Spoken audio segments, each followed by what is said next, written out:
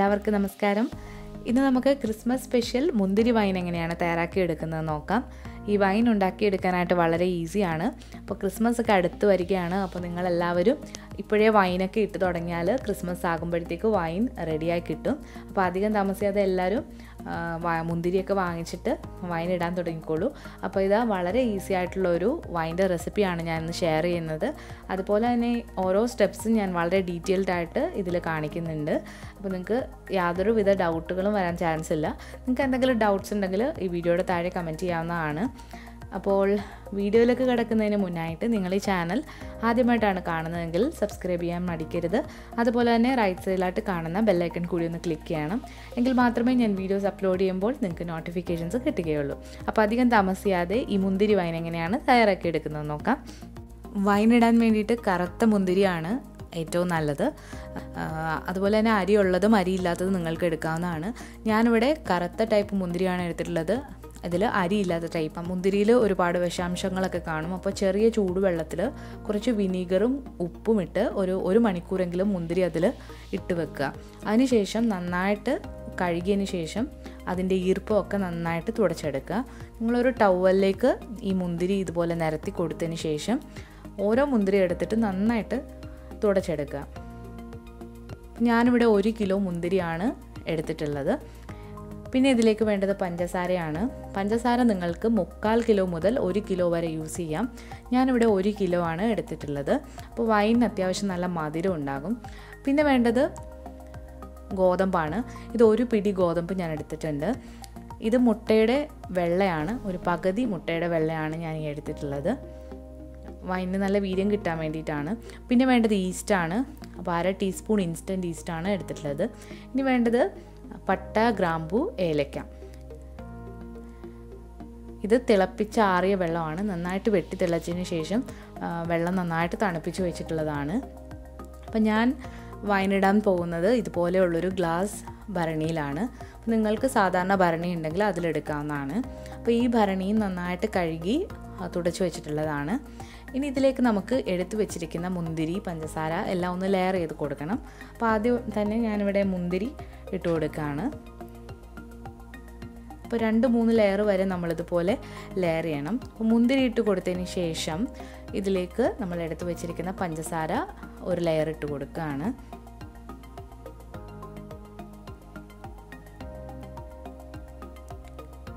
പഞ്ചസാര കൂടി ഇട്ട് കൊടുത്തതിന് ശേഷം ഇതിലേക്ക് ഗോതമ്പാണ് ചേർത്ത് കൊടുക്കുന്നത്. ഈ ഗോതമ്പ് നിങ്ങൾക്കൊന്ന് ക്രഷ് ചെയ്തിട്ട് ചേർത്ത് കൊടുക്കാവുന്നതാണ്.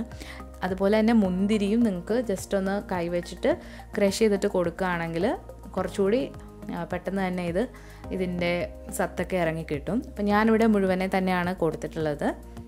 അപ്പോൾ ഗോതമ്പ് ഇട്ട് കൊടുത്തു. ഇനി ഈ പ്രോസസ്സ് ഒന്ന് റിപ്പീറ്റ് ചെയ്യുക. വീണ്ടും മുന്തിരി ഗോതമ്പ് പഞ്ചസാര അതുപോലെ തന്നെ നമ്മൾ എടുത്തു വെച്ചിരിക്കുന്ന ഗ്രാമ്പു പട്ട ഏലക്ക അതുപോലെ തന്നെ മുട്ടയുടെ വെള്ള ഇതൊക്കെ ചേർത്ത് കൊടുക്കുക. എന്തായാലും വെള്ളം ഒഴിക്കുമ്പോൾ ഇതെല്ലാം കൂടെ മിക്സ് ആവാനുള്ളതാണ്. അപ്പോൾ അങ്ങനെ ചെയ്യുക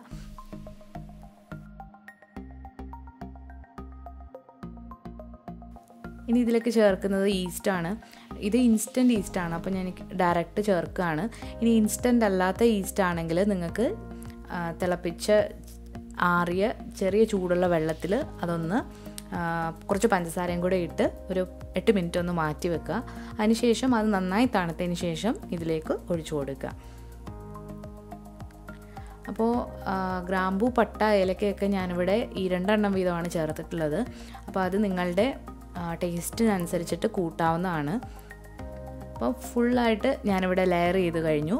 ഇനി ഇതിലേക്ക് നമ്മൾ എടുത്തു വെച്ചിരിക്കുന്ന തിളപ്പിച്ചാറിയ വെള്ളം ചേർത്ത് കൊടുക്കുകയാണ്. അപ്പോൾ വെള്ളം ഒഴിക്കുമ്പോൾ നിങ്ങൾ ശ്രദ്ധിക്കേണ്ട കാര്യം എന്ന് വെച്ചാൽ കുപ്പിയുടെ ഒരു മുക്കാൽ ഭാഗം വരെ എത്തുന്ന രീതിയിൽ വെള്ളം നിറച്ചു കൊടുക്കുക. ഒരുപാട് കുത്തി നിറച്ചാൽ ഈസ്റ്റ് ഇതിൽ ഫെർമെന്റ് ആകാൻ ആകുമ്പോൾ അതിന് സ്പേസ് കിട്ടില്ല. അപ്പോൾ അത് ഓവർഫ്ലോ ചെയ്യാനുള്ള ചാൻസ് ഉണ്ട്.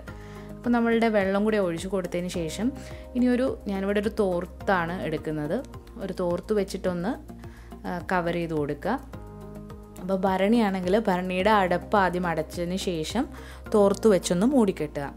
അപ്പോൾ തോർത്ത് വെച്ചിട്ട് നമ്മൾ ഒരുപാട് ടൈറ്റായിട്ട് കെട്ടരുത്. കുറച്ചൊരു സ്പേസ് ഇട്ടിട്ട് വേണം കെട്ടാനായിട്ട്. എങ്കിൽ മാത്രമേ എയർ ഇതിന്റെ ഉള്ളിൽ കടന്നിട്ട് ബാക്ടീരിയ ഒക്കെ വളർന്നു വരികയുള്ളൂ.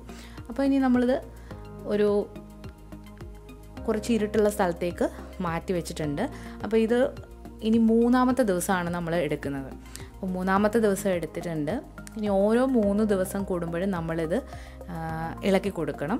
അപ്പോൾ ഇളക്കി കൊടുക്കുന്നതെന്ന് വെച്ചാൽ ഒരു തടിത്തവി വെച്ചിട്ടാണ് ഇളക്കുന്നത്. ഈ തടിത്തവിയും നന്നായിട്ട് കഴുകി ഉണക്കിയതാണ്. വെള്ളം ഒട്ടും തന്നെ പാടില്ല.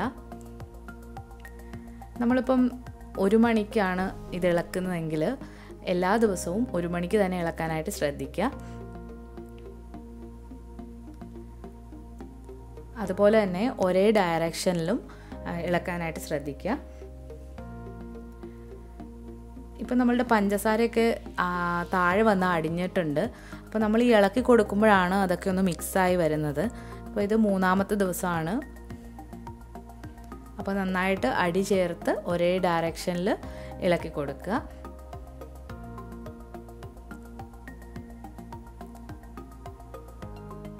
നമ്മൾ ഇളക്കി കൊടുത്തിട്ടുണ്ട്. ഇനി നമ്മളിത് തോർത്ത് വെച്ചിട്ട് മൂടിയിട്ട് അടച്ച് വീണ്ടും ഒരു മൂന്ന് ദിവസം കഴിയുമ്പോഴാണ് നമ്മളിത് ഇളക്കി കൊടുക്കുന്നത്. അപ്പോൾ ഇതുപോലെ പതിനഞ്ച് ദിവസം ഇങ്ങനെ നമ്മൾ റിപ്പീറ്റ് ചെയ്യണം.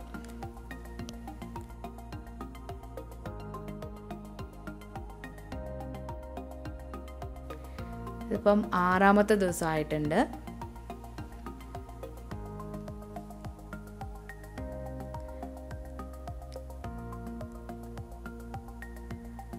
ആറാമത്തെ ദിവസവും ഒരേ സമയത്ത് നിങ്ങൾ ഇളക്കാനായിട്ട് ശ്രദ്ധിക്കുക. അപ്പോൾ നിങ്ങൾ ഒരു അലാം എന്തെങ്കിലും സെറ്റ് ചെയ്ത് വെച്ചിട്ട് ഇത് ഇളക്കി കൊടുക്കണം. അതുപോലെ തന്നെ നിങ്ങൾ വൈൻ ഇടുന്ന ദിവസം ഒന്ന് നോട്ട് ചെയ്ത് വെക്കാനായിട്ടും ശ്രദ്ധിക്കുക. ഇപ്പോൾ പഞ്ചസാര നേരത്തെ അപേക്ഷിച്ച് കുറച്ചുകൂടെ ഒന്ന് അലിഞ്ഞു വന്നിട്ടുണ്ട്. അപ്പോൾ നന്നായിട്ട് ഇളക്കി കൊടുക്കുക. അപ്പോൾ ഈസ്റ്റിന്റെ റിയാക്ഷൻ കാരണമാണ് ഇങ്ങനെ പത പോലെ ഇരിക്കുന്നത്. വീണ്ടും കെട്ടി ഇത് മാറ്റി വെക്കുകയാണ്. ഇനി ഒരു മൂന്ന് ദിവസം കഴിയുമ്പോൾ വീണ്ടും തുറക്കുകയാണ്. അപ്പോൾ ഒമ്പതാമത്തെ ദിവസമായിട്ടുണ്ട്. അപ്പോൾ നിങ്ങൾക്ക് ഇത് റിപ്പീറ്റ് ചെയ്ത് കാണണ്ടെങ്കിൽ നിങ്ങൾക്ക് സ്കിപ്പ് ചെയ്ത് മുന്നോട്ട് പോകാവുന്നതാണ്. ചിലർക്ക് ഡൗട്ട് ഉണ്ടാകും. അപ്പോൾ അവർക്ക് വേണ്ടിയിട്ടാണ് ഞാൻ വളരെ വിശദമായിട്ട് ഇതിൽ കാണിച്ചു തരുന്നത്. അപ്പോൾ ഓരോ ദിവസത്തെ മുന്തിരിയുടെ ചേഞ്ചസ് നിങ്ങൾക്ക് കാണാൻ വേണ്ടിയിട്ട് കൂടിയാണ് ഇങ്ങനെ ഞാനിത് എടുത്തത്. അപ്പോൾ ഒമ്പതാമത്തെ ദിവസവും നമ്മൾ ഇത് ഇളക്കി കൊടുത്തിട്ടുണ്ട്. നമ്മളിത് ഇളക്കി കൊടുത്തതിന് ശേഷം ആ തവി നന്നായിട്ട് കഴുകി ഉണക്കിയെടുക്കാനായിട്ട് ശ്രദ്ധിക്കുക.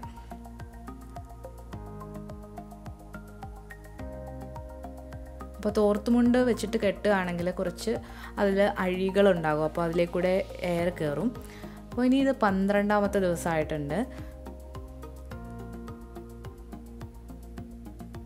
പന്ത്രണ്ടാമത്തെ ദിവസമൊക്കെ ആകുമ്പോഴത്തേക്ക് ഈ മുന്തിരി നന്നായിട്ട് ഇതുപോലെ അഴുകി വന്നിട്ടുണ്ടാകും.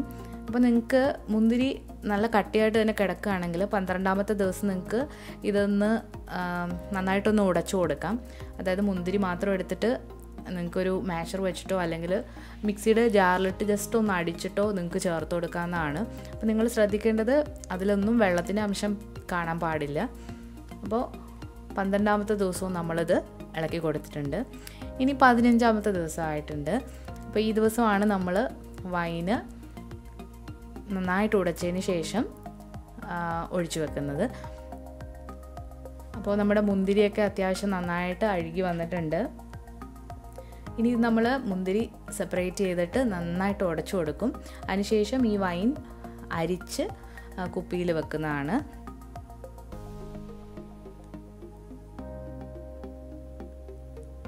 ഇപ്പോൾ ഈ നന്നായിട്ട് ഫ്ലഷ് ഉള്ള മുന്തിരിയാണിത്. അതുകൊണ്ടാണ് ഇപ്പോൾ അധികം കളറ് നിങ്ങൾക്ക് തോന്നിക്കാത്തത്.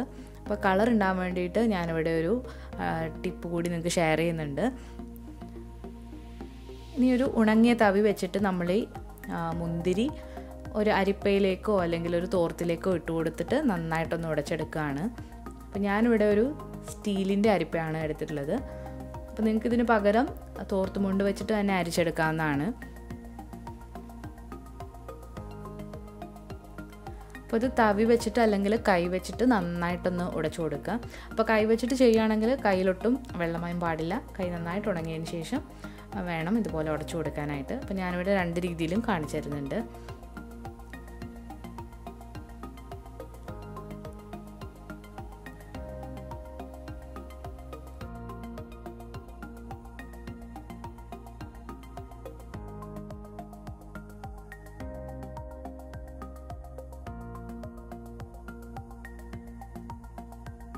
അപ്പോൾ നമ്മൾ മുഴുവനും ഉടച്ചു കൊടുത്തിട്ട് ബാക്കി ഫുള്ള് ഇതിലേക്ക് ഒഴിച്ചു കൊടുത്തിട്ടുണ്ട് അരിപ്പയിലേക്ക്. അപ്പോൾ നമ്മുടെ മുന്തിരി വൈൻ നമ്മുടെ പാത്രത്തിലേക്ക് മാറ്റിയിട്ടുണ്ട്. ഇനി അതിന്റെ കൊന്ത് വേണമെങ്കിൽ നമുക്ക് തിളപ്പിച്ചാറിയ വെള്ളം ഒഴിച്ചിട്ട് വീണ്ടും മാറ്റി വെക്കാവുന്നതാണ്. അതൊരു മാസം അനക്കാതെ വെക്കാനായിട്ട് ശ്രദ്ധിക്കാം. ഇനി നമുക്ക് വൈനിലേക്ക് കളർ കിട്ടാൻ വേണ്ടിയിട്ട് ഞാനിവിടെ കുറച്ച് പഞ്ചസാര കരിച്ചിട്ട് ചേർക്കുന്നുണ്ട്. അപ്പോൾ അതിന് വേണ്ടിയിട്ട് ഒരു സോസ് പാനിലേക്ക് കാൽ കപ്പ് പഞ്ചസാര ചേർത്ത് കൊടുക്കുന്നുണ്ട്. ഈ പഞ്ചസാര ഒരു മീഡിയം ഫ്ലെയിമിലിട്ട് കുറച്ച് നേരം അനക്കാതെ വെക്കുകയാണെങ്കിൽ ഇതുപോലെ ബ്രൗൺ കളറിൽ കാരമലൈസ് ആയി വരും.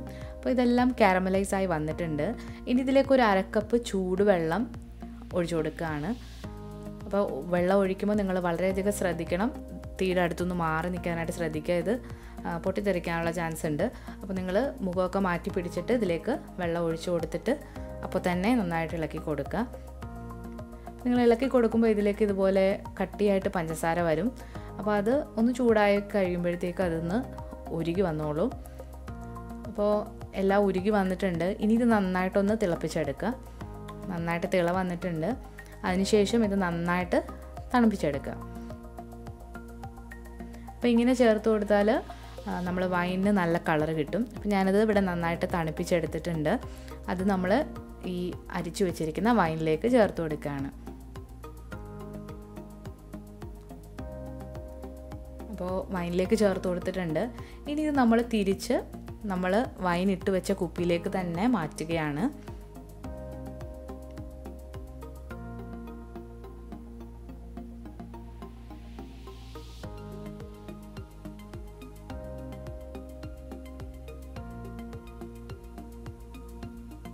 അപ്പോൾ ഇത് മുഴുവനും ഒഴിച്ചതിന് ശേഷം ഇനി ഇത് നമ്മൾ നല്ല ടൈറ്റായിട്ട് തന്നെ അടച്ചു വെക്കാനായിട്ട് ശ്രദ്ധിക്കുക. അപ്പോൾ ഞാൻ ആദ്യം അടപ്പ് വെച്ചിട്ട് മൂടിയിട്ട് ശേഷം ഈ തോർത്ത് മുണ്ട് വെച്ച് തന്നെ നന്നായിട്ട് മുറുക്കി കെട്ടുകയാണ്. ഇനി ഇത് ഒരു ഇരുട്ടുള്ള സ്ഥലത്ത് മാറ്റി ഒരു പതിനഞ്ച് മുതൽ ഇരുപത് ദിവസം വരെ നിങ്ങൾക്ക് മാറ്റി വെക്കാവുന്നതാണ്. ഇത് അനക്കാനേ പാടില്ല. അപ്പോൾ ആരും കാണാത്ത സ്ഥലത്ത് വെക്കുക. അപ്പോൾ ഞാനിവിടെ പതിനഞ്ച് ദിവസമാണ് ഇത് വെച്ചിട്ടുള്ളത്. അപ്പോൾ പതിനഞ്ച് ദിവസം കഴിയുമ്പോഴത്തേക്ക് നമ്മളുടെ വൈൻ നല്ല റെഡി ആയിട്ടുണ്ട്. അപ്പോൾ ആ വൈൻ ഞാനൊരു വൈൻ കുപ്പിയിലേക്ക് ഒഴിച്ചു വെച്ചിട്ടുണ്ട്. അപ്പോൾ ഇതുപോലുള്ളൊരു ഗ്ലാസ് കുപ്പികളിലാണ് വൈൻ ഇട്ട് വെക്കാൻ ഏറ്റവും നല്ലത്. അപ്പോൾ നമ്മളുടെ വൈന്റെ കളർ കാണുമ്പോൾ തന്നെ മനസ്സിലാകും നല്ല കളറിൽ വന്നിട്ടുണ്ട്. ഈ വൈൻ ഇരിക്കും തോറും ഇതിന്റെ കളറും വീരും ഒക്കെ കൂടും. അപ്പോൾ വളരെ ഈസി ആയിട്ട് ചെയ്യാൻ പറ്റുന്ന ഒരു വൈന്റെ റെസിപ്പിയാണ് അപ്പോൾ നല്ല കളറിലും നല്ല ടേസ്റ്റിലും ഉള്ള വൈന് വീട്ടിൽ തന്നെ തയ്യാറാക്കി എടുക്കാം. അപ്പോൾ നിങ്ങൾക്ക് ഈ വീഡിയോ ഇഷ്ടമായെങ്കിൽ നിങ്ങൾ തീർച്ചയായിട്ടും ട്രൈ ചെയ്ത് നോക്കിയിട്ട് നിങ്ങളുടെ ഫീഡ്ബാക്ക് അറിയിക്കുക. അപ്പോൾ ഈ ക്രിസ്മസിന് എന്തായാലും എല്ലാവരും ഈ വൈന്റെ റെസിപ്പി ഒന്ന് ട്രൈ ചെയ്ത് നോക്കുക. എല്ലാവർക്കും ഇഷ്ടപ്പെടും. ഇന്നത്തെ ഈ വൈനിന്റെ റെസിപ്പി നിങ്ങൾക്ക് ഇഷ്ടമായെങ്കിൽ ഈ വീഡിയോ ലൈക്ക് ചെയ്യാനും ഷെയർ ചെയ്യാനും കമന്റ് ചെയ്യാനും മറക്കരുത്. പുതിയതായിട്ട് ചാനൽ കാണുന്നവരാണെങ്കിൽ സബ്സ്ക്രൈബ് ചെയ്തതിന് ശേഷം റൈറ്റ് സൈഡിലായിട്ട് കാണുന്ന ബെല്ലൈക്കൺ കൂടി ഒന്ന് ക്ലിക്ക് ചെയ്യണം. എങ്കിൽ മാത്രമേ ഞാൻ വീഡിയോസ് അപ്ലോഡ് ചെയ്യുമ്പോൾ നിങ്ങൾക്ക് നോട്ടിഫിക്കേഷൻസ് കിട്ടുകയുള്ളൂ. ക്രിസ്മസിന് നിങ്ങൾ കാണാൻ ആഗ്രഹിക്കുന്ന റെസിപ്പീസ് ഈ വീഡിയോയുടെ താഴെ കമന്റിലൂടെ എന്നെ അറിയിക്കാവുന്നതാണ്. അപ്പോൾ പുതിയൊരു റെസിപ്പിയായിട്ട് വീണ്ടും വരുന്നതാണ്. താങ്ക്